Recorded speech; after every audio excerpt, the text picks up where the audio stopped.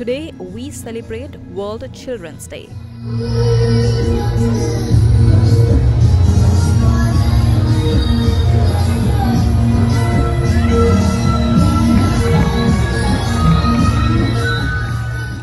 A program to unveil the longest painting in Sri Lanka with the participation of school children from all over the country is underway at the Vihara Mahadevi Park in Colombo in line with World Children's Day. This program was launched by Sirasa TV and the Education Ministry of Sri Lanka.